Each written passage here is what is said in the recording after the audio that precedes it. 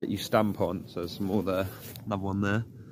And when that goes mature, you stamp on it and a big cloud of spores will come out of it. These are the brittlegills I was talking about in the message. Slimy haps, but yeah, they look really clean. No maggots in there or anything. Another one, another little patch over there. Just, oh, is that magic?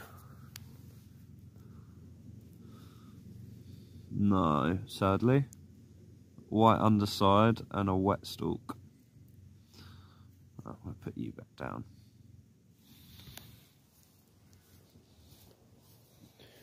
Come with me on my dream. Looking for some fucking magic mushrooms. We get high, we get low. We see all the colors of the